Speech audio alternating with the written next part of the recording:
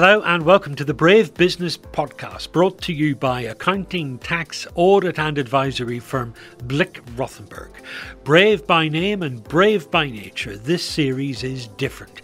Aimed at entrepreneurial businesses, we focus on providing market updates, practical guidance, timely insights, and professional opinions from industry experts, helping you make informed decisions for your business. I'm Declan Curry, journalist and broadcaster. In this episode, we look at the autumn budget. Who are the winners? Who are the losers? And with recession looming, what should your business do to get ready for it? Joining us to discuss all of this from Blick Rothenberg, its Chief Executive Nimesh Shah, its corporate tax partner Heather Self, and our guest today, financial journalist Simon Gompertz. Welcome all three of you to the podcast. So the budget's happened. There's been acres of coverage in the newspapers, on television, and radio. What are the most important bits for the listeners of this podcast, Nimesh? So the thing for me that didn't really get too much attention during the budget and even in the immediate aftermath was the energy price guarantee. We talked about it for domestic uh, domestic households, but little was said about businesses. The original plan from Liz Truss was that businesses would get support until March, six months of support, but after that, nothing at all. And Jeremy Hunt was pretty silent on that. So it was actually what was not said about the energy price guarantee. Energy bills are going to go up for businesses as well as individuals. And that's important because for many businesses, that's one of the big cost uncertainties going into what is almost certain to be a recession. Yeah, it's got to be a cloud hanging over many businesses that that uncertainty over what are their electricity and gas bills going to look like come March. Heather, what stood out for you? I think it's got to be the rate of corporation tax. It's been up and down like a yo yo in various budgets and statements. We're now sure that it is going to go up to 25%. That's the highest rate for about 10 years or so. Although for businesses with less than £250,000 in profits, and that's across the whole group, not per company, it will stay at 19%. But for a lot of businesses, quite a significant rise in corporation tax. And Simon Gompertz, I have to say how lovely it is to see you. Again. Lovely to see you, uh, Declan. Uh, uh, for, the, for those of you who don't know, Simon and I worked together on many BBC programmes for about 150 years between us. So and you've grilled me many times before.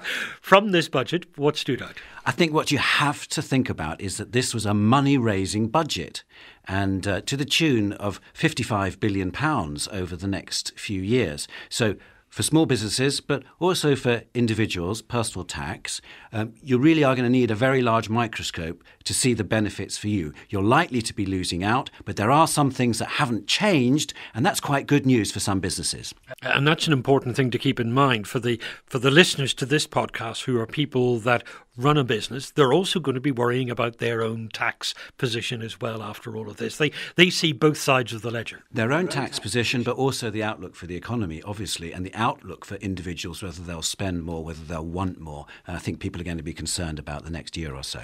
Okay, let's work through a checklist of things that are going to be important to the listeners to this podcast. As they run their businesses, they're thinking about uh, what investments they should make in the year ahead. What's happened to the tax position on that? This is one of the rare bits of good news. If a business spends money on plant and machinery, up to a certain limit, they can get a full write off of that cost in year one. That limit has been 200,000 for a while. It's been up and down again, like other things, it, they go up and they come back down again. But we have now got a commitment to that being a million pounds for the foreseeable future. And for most small businesses, that's going to mean anything they can afford to spend on new plant and equipment, they can write off immediately against tax. And of course, if their profits are high enough, get relief at 25%. And that million pound figure for any moderately sized owner managed business, that's generous enough, isn't it? That is, yes. That's going to cover something like 90% of all companies, I think. However, as always, there's a sting in the tail. We were promised some investment zones. They're going to be scaled back, although we don't have the full details yet. And also research and development expenditure. At the moment, smaller businesses get much more generous R&D relief than large businesses. That's going to be scaled back quite significantly. And apparently it's in response to concerns about fraud and claims being made which shouldn't qualify but it does seem to be a rather large hammer to crack a nut. And I think that's really discouraging. We want small businesses to be innovative, to develop new technology, and hopefully grow into big businesses. Yes, I thought that was a bit snotty at the time. The suggestion, you know, the, this broad brush approach to small business. Oh, you're all fraudsters. We have seen aggressive selling of companies that specialise in coming up with R&D claims. I've got a client who runs restaurants. They had someone approach them and say, "We can get you R&D relief on your new recipes." No, you can't. okay, so there is a, a little grain behind it. There was a lot of press attention in the run up to the autumn budget about R&D big article in the Times just the week before about the amount of fraud that was taking place in that sector. It just felt like a little bit uh, rushed from the government to do something around R&D when we really didn't need to. Seemed a bit foolish to me.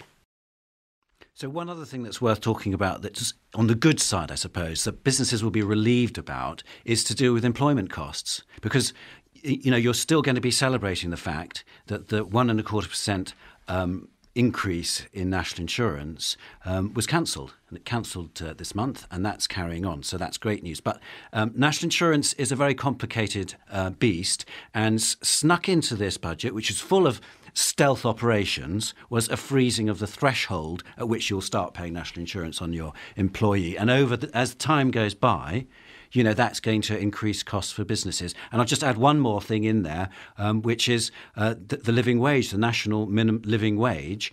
Um, great that it's gone up. It's another employment cost, though, so that's at uh, £10.42 an hour, and it's something that businesses are going to be thinking about just sticking with that national insurance, yes, it's good news for this year, but the amounts that this freezing of the national insurance level is going to bring in in the next couple of years are going to be over 3 billion in the next year and then rising to almost 6 billion by 2027 28 so that's really quite a significant levy on businesses but as you say it's very much a stealth tax. You won't notice that you're paying a higher percentage it's sneaky year. sneaky sneaky. That freezing of thresholds that never to well to anyone in the real world feels like a tax rise but simon that is what it is uh, we were promised that uh, all the main taxes would, wouldn't go up. But of course, this is a way of raising tax. It's a sort of broken promise because we're going to have to pay more, both individuals and businesses. And worth remembering that the Conservative Manifesto in 2019 said it wouldn't increase income tax, national insurance, and VAT. It did actually increase national insurance, but only for six months. They did break that tax triple lock. Arguably, though, the freezing of all these allowances is a is a more severe mechanism for the government to raise taxes. Actually, if you just increase the headline rate of income tax, it would have raised less than what the freezing the allowances would have done. And then, of course, Nimesh, that other big tax that hardly anyone outside of accountancy understands capital gains. Yeah, there was a big threat, as there is with every budget that I see these years, that capital gains tax is going to increase. There's a big flurry of activity. I get lots of calls from clients saying, Nimesh, is capital gains tax going to go up? I've got no idea. Uh, the, the best person that will know will be the Chancellor. Even they have changed their mind in recent budgets we thought something might happen at this budget. There was an opportunity, I thought, from Jeremy Hunt to say, I will increase capital gains tax, possibly even align it to income tax at 45%, and maybe pre announce that, maybe not for next year, but even the year after to April 2024, with a view to then maybe scaling it back. That wasn't mentioned, didn't happen. I think it's probably safe to say that capital gains tax won't go up now for the remainder of this parliament. What he did do was, though, he cut the capital gains annual exemption it was £12,300. It's going down to £3,000 from April 2024 and it's going to go down to £6,000 from next year. So people who people who are in the fortunate position to have made a profit on the sale of what does it cover? The sale of uh, of, of, of shares yeah, you, with within a business. Where do you pay capital gains tax? Well, within a business, no, but within a um, if you're a if you're a business owner, someone who's selling their business, they will pay capital gains tax 10% on the first million, 20% thereafter. That 20% is a really generous rate.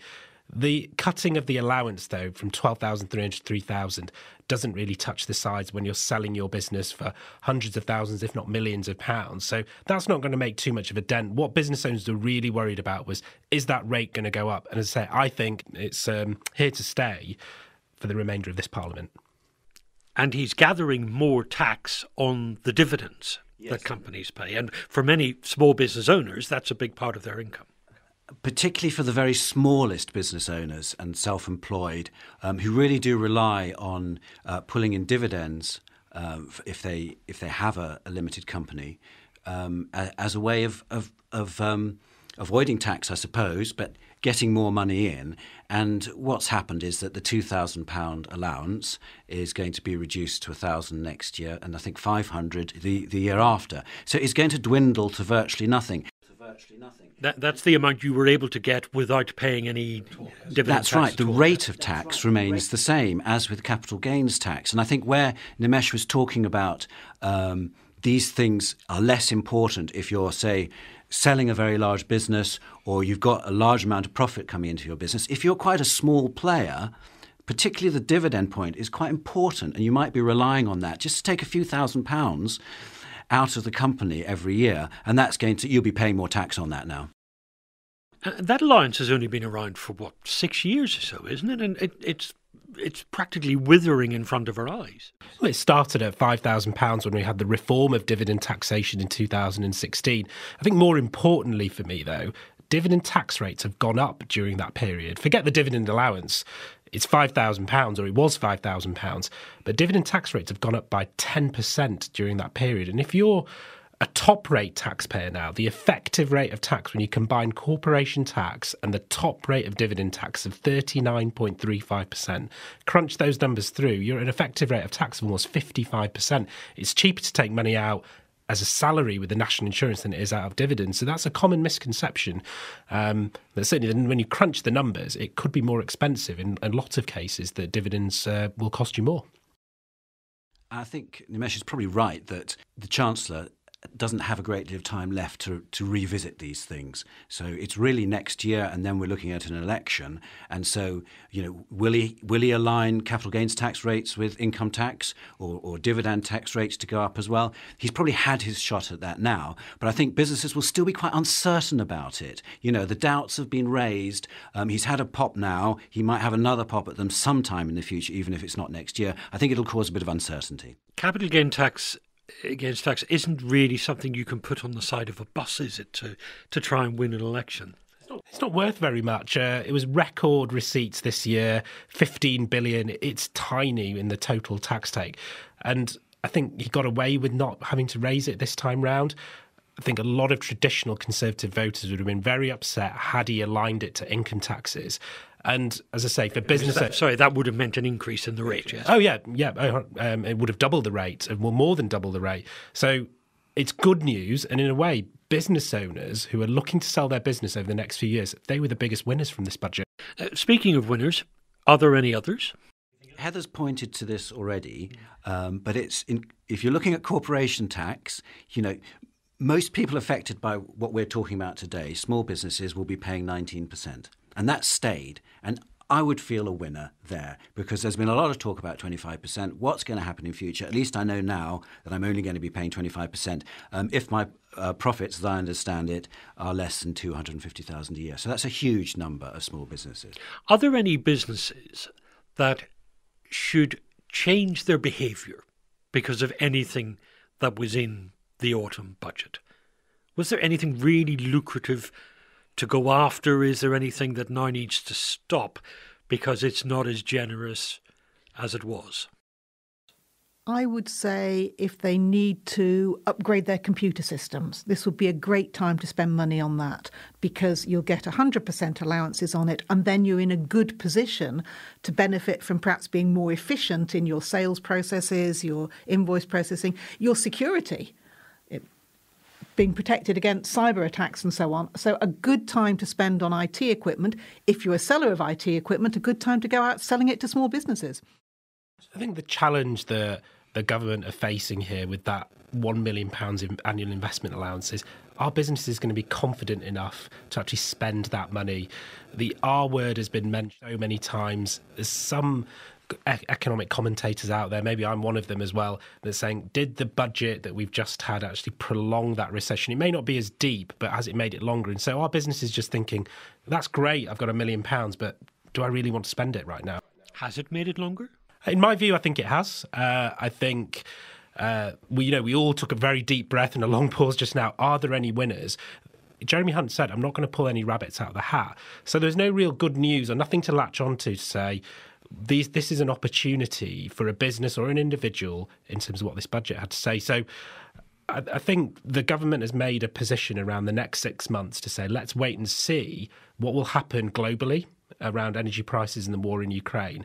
And then we may show our hand again in the run up to the next election about then potentially giving some some giveaways back into the system entirely agree with Nimesh. And I think consumer confidence generally is still very low. People are really worried. Anyone who's on a fixed rate mortgage that's going to come to an end in the next few months is going to see a major increase in their outgoings. So people are going to be spending less on discretionary things, more on the essentials, but less on anything that they can cut back on. I totally agree. Not many winners, but there are th- things that you could be doing. And Heather, you talked about making sure you take advantage of your uh, annual investment allowances at the moment. Obviously, uh, if you're going to be hard pressed in the com- coming recession, that's what we're getting. You, you, want to take advantage of all of that. But I think we have a sort of deadline coming up now uh, in April where some um, rates and allowances are going to change. And um, we're also going to see at that point more people moving into either um, 20% tax bracket, starting to tax, pay tax for the first time, this is on their personal tax, or into 40 or 45%. And that means it's going to be an important time to start thinking how can I perhaps not go into that rate by uh, making bigger pension contributions? Uh, and saying, you know, I can avoid the tax that way. Um, or if you're reasonably well off and you've got money to give away, saying I can give some money to charity now, and that means I won't go into the uh, 40% or, or 45% rate. So take advantage of those things before the rules change in April. You'll know your clients. Do they look at the tax thresholds or the uh, the freezing of the thresholds, and do some of them say, you know, I'm not going to try as hard next year. I'm not going to work as hard next year. What's the point? I think the sentiment of, uh, I think Heather summed it up before that people are concerned about having to pay more tax, uh, having to also face higher living costs as well. Um, is there still the sentiment around, well, is it worth it? And well, I think it is. Uh, there's still an aspiration to get to earning more money, uh, if at least just to pay for the costs of um, of, of running your life these days as well. Uh, I don't think it's going to in any way dampen the spirit of British enthusiasm, British entrepreneurship. Uh, what I think it does do is just make it just that bit more difficult as well. And it's such an about turn from what we had in the end of September. The failed, the ill fated mini budget of Kwasi Kwarteng, uh, where we are now, it was the 100 billion swing. Simon, you mentioned before it was 55 billion. Well, if you add up what was given away in the mini budget and add it together with what we've just seen, that's a huge sum of money that people are having to cough up in extra tax. And that's got to have some kind of impact. But I still firmly believe that I don't think it will necessarily dampen the enthusiasm. The Kwasi Kwarteng mini budget was all about plans for growth, and this one feels to be more about stability and reassurance. Have we stopped talking about growth? Uh, Jeremy Hunt mentioned it a lot during uh, the autumn budget statement. Uh, I think right now it is a six month play. Uh, they need to stabilise. I mean, he, he used the word stability in his opening remarks he doesn't want to go away from growth. We do need to get back on that growth agenda. Uh, businesses want to see that certainty as well. Uh, it's so uncertain over the next few months, but I think Jeremy Hunt is relying on that. That we'll will ride through the global situation. We've got that opportunity, that window right now, and then we'll play our hand hopefully at the budget next year to see what may happen. You're expecting a lot in this budget next year. well, doesn't fate tell you that, Declan? That uh, it's coming up to election season. So it's it's more giveaway than tightening in, in the years ahead. Is that what we what we think? I've been watching budgets for a very long time, and chancellors almost always find a few rabbits just before an election. But so much has been left to chance now, and um, we don't know what's going to happen next year. It's a very, very difficult outlook for the government. And yes, um, there's a scenario where they have a budget in the autumn of next year. They introduce a tax cut. We know that we know that uh, Rishi Sunak has talked about uh, a penny off the basic rate of tax, so taking it down to 19%. So he's he's nailed his colours to the mast. Uh, wouldn't it be good to do that then, so that people then have the money in their pockets when the cut comes into play the following April, and then you have an election after that. But, you know, at the moment, life isn't happening in, in such easy steps, is it? We have the war in Ukraine, we have the possibility of the recession over the next year. And, you know, I think small businesses are going to be worried. They're going to be um, pulling their belts in, aren't they, over that time? Very concerned. Is that what owner managed businesses should be doing to prepare for the recession? So it's been a fairly gloomy podcast so far, not many winners that we've talked about. For businesses, we've talked a lot about the uncertainty factor. And I think businesses will react to that, Declan, that they will not want to maybe deploy capital over the next six month period. The government are also probably expecting that as well with the Jeremy Hunt budget that we've just seen, that businesses want to ride out what the, uh, the economic agenda looks like. And so for me, businesses just taking a bit more of a cautious approach understanding what that macroeconomic environment may look like for them, and then we may see some good news coming out from the budget uh, from uh, from the government in the next spring statement as well. The government are also putting their chips on the fact that the global situation will improve. Let's see what happens with the war in Ukraine. Will that somehow come to a dramatic uh, dramatic end? China's zero COVID policy, which has such a big impact on the supply chain as well. And what does all of that mean for uh, the energy price, the global energy price as well, which the government keep pointing their fingers towards? I think as well. Going going back though to uh, the actual budget measures themselves that we had from uh, the Chancellor just now. Um, and we heard the CBI questioning it afterwards, saying, you know, where's the growth effectively? You know, we want growth, but what measures here are actually going to promote growth? And this is the problem over the next year when we know we're likely to have a recession. We know that small businesses are contending with maybe not super high interest rates, but higher interest rates. If they've got um, high debts, they'll be feeling a little bit vulnerable over this time. You know, what are the measures that are going to pull us through that uh, that period? Not entirely clear. The budget. We've talked a lot about tax and allowances and incentives there, and I agree that there wasn't much there that would really stimulate and encourage that growth agenda. But when I speak to businesses right now, the biggest concern is labour shortage. And not only do we have a war in Ukraine, global energy price an all time high, also the UK has decided that it would have Brexit, which has made that labour shortage effect more compounded. So, will the government then show their hand outside of a fiscal event around what they're looking to do to address that labour shortage issue? Because I think that would unlock some of the growth potential that we've got. Businesses are talking about if we had more people, we could do a lot more. I think there was also a recommitment to some of the big infrastructure projects. As somebody who actually lives in the Northwest, I was delighted that we have got the recommitment to HS2. Now, that's very big government spend, but there is a trickle down effect. There's big contractors, there's subcontractors, and it comes right down to smaller businesses doing all sorts of eh, engineering and construction work on those big infrastructure projects. So, that I think is something which, if those had been cancelled, that would have been a much bigger dampener on growth. And a bit of money for East West Rail Would might be, be, welcome, too. but that could be a whole other podcast if we ever got round to that. In a year, we've had three prime ministers, we've had four chancellors. You know, there's still time before Christmas to squeeze in another chancellor if we uh, wish to do so. Is there is there an element of whiplash in business? Does business look at government and think, for pity's sake, get your act together. We're done with this level of chaos now. We need a bit of stability to make some plans. Yeah, businesses. We I think we've talked about on previous episodes of this podcast. Businesses like certainty. It may not necessarily be good news, but they want to know what the system will look like, and that's just not what they've had. Okay, we've had COVID hanging over us as well, which was a big cataclysmic event something unprecedented that no one had faced before. The government reacted really quickly, uh, and they should be praised actually for their speed and the the scale of the policies that they introduced at that time. But it was still that yo-yo effect that Heather talks about around fiscal events that we've had, and uh, we were talking about it before that. Um, businesses haven't been able to get that stability because we've not had that long term strategic budget in the lifetime of this parliament. And to be fair to this government, they haven't really had that opportunity to do that. And I think Rishi, Chan- uh, Rishi Sunak, in his time as chancellor, he wanted to be that transformational chancellor. He just didn't get the opportunity. So um, I do hold some sympathy for the government around what they've had to do. It's been very, re- been very reactive.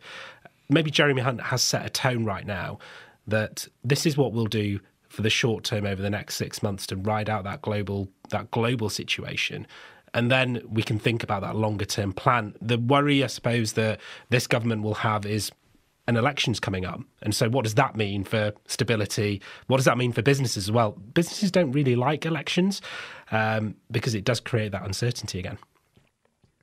The two of them, Rishi Sunak and, and Hunt, are sort of forced together, aren't they now?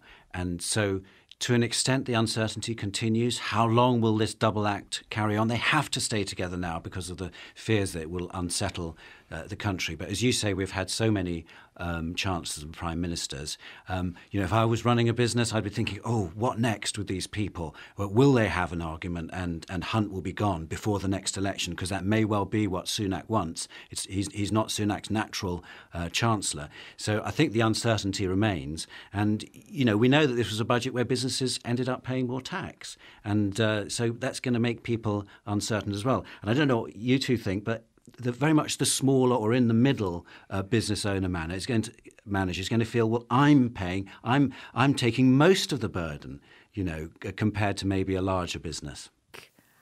It's interesting that Sunak persuaded Jeremy Hunt to delay the budget slightly because he wanted to get under the skin of the numbers.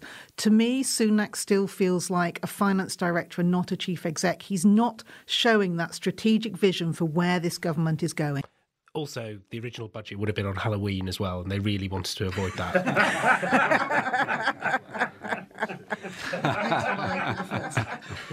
I think it's worth saying that you know a lot of the uncertainty is not to do with the with the budget. You know, we, we do live in a very uncertain world, and it's unfair to blame everything um, on on Jeremy Hunt and and the government. What's going to happen in the Ukraine, and that will dictate uh, to a great measure what's going to happen next year to the to company and business finances.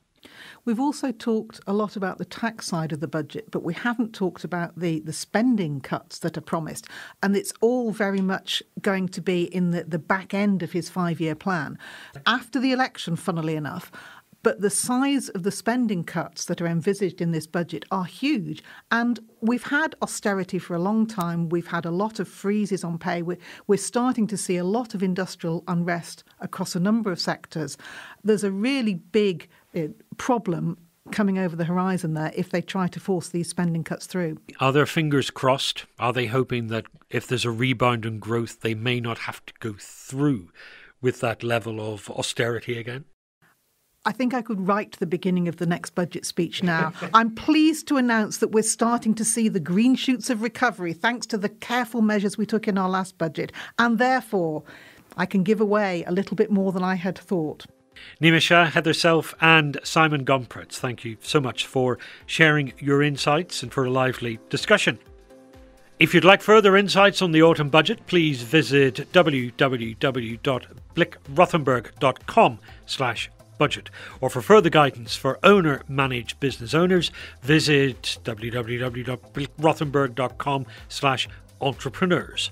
I'm Declan Curry. This has been the Blick Rothenberg Brave Business Podcast. Thank you so much for your attention and for being part of our conversation.